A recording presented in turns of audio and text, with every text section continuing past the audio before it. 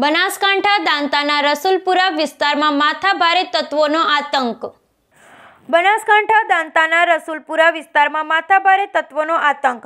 રસુલપુરામાં છ ઈસમો ભેગા મળી એક વ્યક્તિને ખુલ્લેઆમ માર મારતા દાંતા પોલીસ સ્ટેશનમાં નોંધાઈ ફરિયાદ વાત કરવામાં આવે તો દાંતાના રસુલપુરાની તો ત્યાં જૂની અદાવત રાખી છ ઈસમો ભેગા મળીને એક વ્યક્તિને ગળદાપાટું તેમજ લોખંડની પાઇપ વડે ઢોરમાર માર્યો હતો.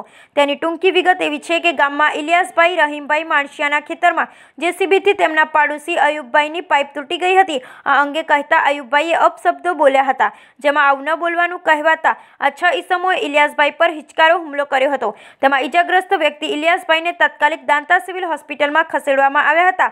પણ માથાના ભાગે વધુ ઈજા હોવાથી વધુ સારવાર માટે દાંતાથી પાલનપુર સિવિલ હોસ્પિટલમાં ખસેડવામાં આવ્યા હતા. જેમાં ઈજાગ્રસ્ત વ્યક્તિએ છ ઈસમો પર દાંતા પોલીસ સ્ટેશનમાં ફરિયાદ દાખલ કરી છે.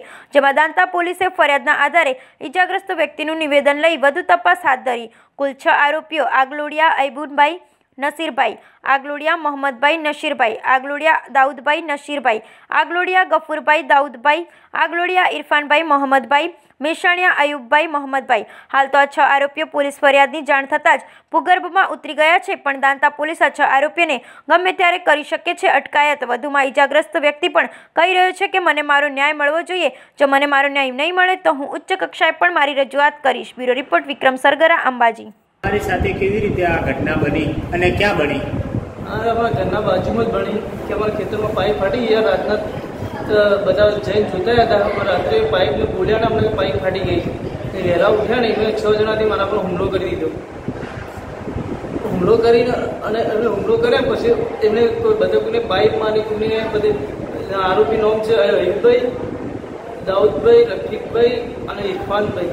મોહમ્મદ મોહમ્મદભાઈ. ટોટલ કેટલા ઈસમો હતા? ટોટલ છ જણ છે. ને તમે કોઈ મને કીધું પહેલા નહીં. પણ તો અમારા પર ડાયરેક્ટ હુમલો જ કરી દીધો એમને. પોલીસ સ્ટેશનમાં કોઈ જાણ કરી? હા પોલીસ સ્ટેશન ડાયરેક્ટ પહેલા મેં છ વાગે જાણ કરી હતી. તો કોઈ પોલીસ જઈ ના અમારા ઘર પર. તમે ક્યાં ક્યાં જાણ કરી? તો ત્યાં પોલીસ સ્ટેશન કરી ત્યાંથી પાછા મેં સરકારી દવાખાને સરકારી દવાખાને અમે પાલનપુર મોકલ્યા તો હતા. પાલનપુર પાલનપુર મોકલ્યા પાલનપુર મોકલે પાલનપુરથી એટલું કરાવી તો તેની કોઈ કાર્યવાહી થઈ ખરી?